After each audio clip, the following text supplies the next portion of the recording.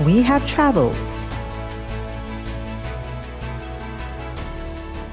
and we have consulted with communities across Belize to ensure the best solutions for their energy needs.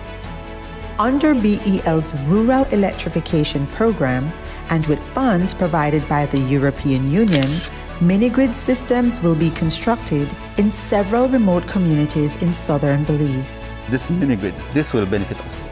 The school will benefit, the church will benefit, and the people. Belize Electricity Limited. We remain committed to delivering safe, reliable, and sustainable energy solutions.